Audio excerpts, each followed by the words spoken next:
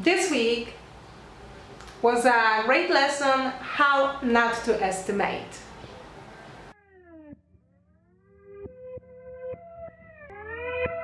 It's Monday, today my guests come.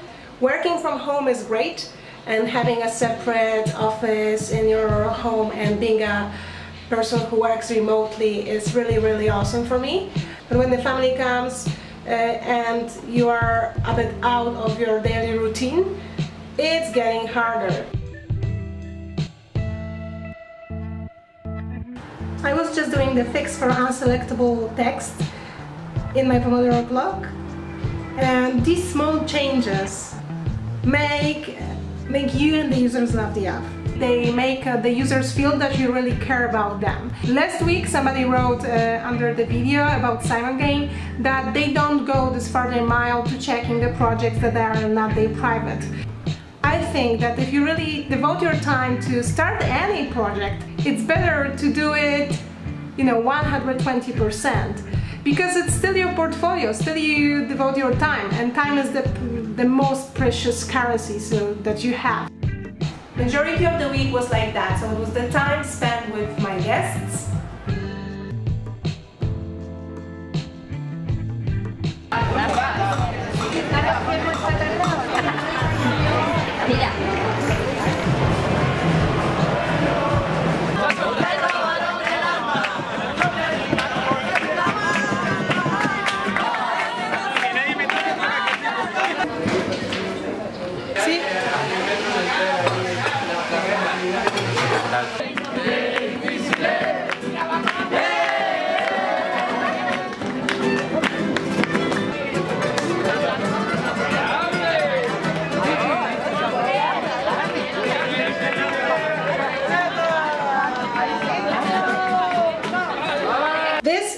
Best motivational tool. So whenever you are not in a mood for coding, whenever you are not focused enough to start coding because you are tired or you are thinking about something else, turn on the music that you like and start coding. It works.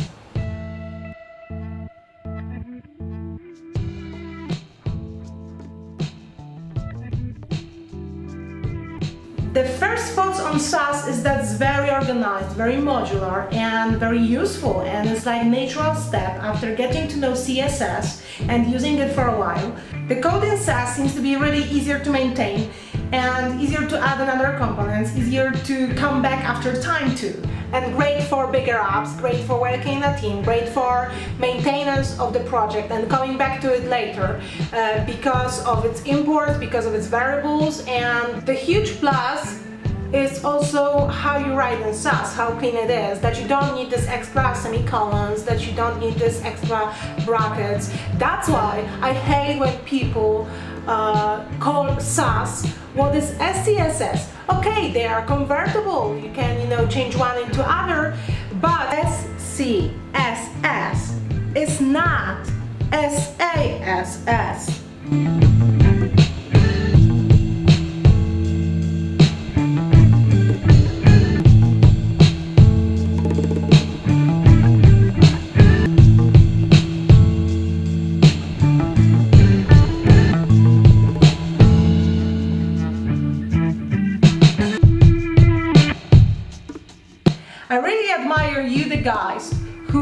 Work on a daily basis uh, and come back after work and start learning to code.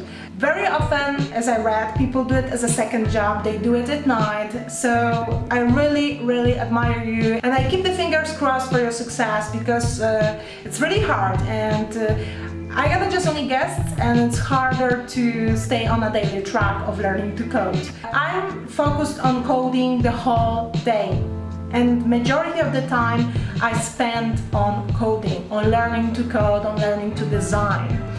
But you guys who really do it, you know, partially after work and still manage to do it successfully, you rock, guys. So it's uh, really something awesome uh, and this needs the power inside.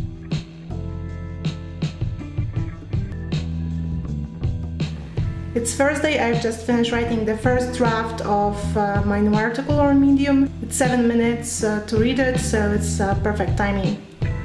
Coming back to it tomorrow. This week, because of uh, the project that I will also start soon, I was uh, comparing the prototyping tools that I've been using before, but not for a long time, so I had to revise them once again. And uh, I decided on Experience Design. When I do the designs for myself, very often I do not uh, use them at all because uh, uh, sketching is very often enough. Majority of prototyping tools are really similar, so if you know one, it's easy to use the other one. What differs the prototyping tool is very often the price and uh, the level of functionality, if it's really mature product or not. This week I gathered a few uh, brownie points, uh, so together I have right now 464 um, brownie points and, and I was active but not as I wanted. Uh, but still, the, four, the first four days I was active also on Gitter, helping others. So from Monday to Thursday, I gathered a few more points to my 500 brownie challenge. The article is uh, ready right now to be revised by Quincy, and I want to publish it uh, in Freecodecamp's publication. Uh, and uh, when we talk about this article, I was uh, focusing on how much um, did it cost me to earn this front-end certificate. Um, and I focus mostly on data, on numbers, and uh, later discuss the details. Uh, I mentioned the resources, uh, feedback, and a few things about sharing and paying back, and also what's next. So not to show you the whole story right now, I hope you will read it uh, later on Medium. I will provide you the link once it's published. The way I'm writing articles is always planning it and um, later uh, writing the first draft and, and, coming back to it after uh, one day, sometimes coming to it um, after longer break if I have time. Uh, and uh, polishing it, so changing what's uh, needed. Also unexpected things happen when it comes to new projects because all of a sudden uh, last week uh, uh, on Friday three new clients contacted me about the projects. I got two, two calls this week about new projects which you have to connect with extra time needed for that. Uh, when you connect it with uh, having hotel at home uh, and uh, working remotely from the same home and uh, adding these extra hours, as a result, at the end of the week, you think, I didn't learn a lot. I didn't learn new stuff. Uh, so your motivation falls down. And the problem is, that it's not the end. I get that one more week like that and uh, I have to start also a new project and uh, come back to the routine. Decision taking and replacing what you need to do fast uh, in this uh, situation where your time is shrinking and uh, a lot of unexpected things uh, with guests happen.